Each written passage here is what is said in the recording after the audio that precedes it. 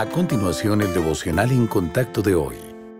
La lectura bíblica de hoy es Santiago capítulo 1, versículos 12 al 16.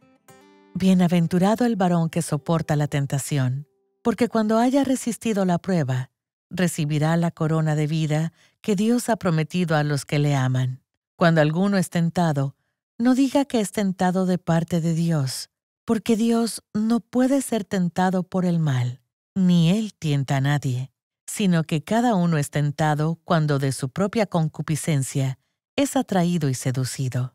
Entonces la concupiscencia, después que ha concebido, da a luz el pecado, y el pecado, siendo consumado, da a luz la muerte. Amados hermanos míos, no erréis. Cuando luchamos contra la tentación, entender cómo funciona puede ser útil.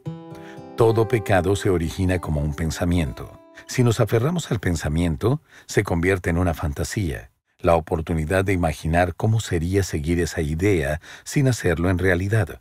Las fantasías pueden enredarse fácilmente con nuestras emociones. Esto crea un deseo que nos lleva al punto en el que hay que tomar una decisión y debemos aceptar el pecado o rechazarlo. Este proceso es bastante peligroso, ya que la progresión del pensamiento a la elección puede ser casi instantánea. Los creyentes sabios determinan de antemano resistir la tentación. Construyen la defensa antes de que ocurra la ofensiva. Hay dos piedras angulares para una buena defensa. El reconocimiento de que Dios tiene el control y el compromiso a obedecerlo. Podemos fortalecer aún más nuestra defensa cuando la tentación realmente llegue. Satanás tiene una manera de resaltar el placer del pecado hasta que sea lo único que vemos.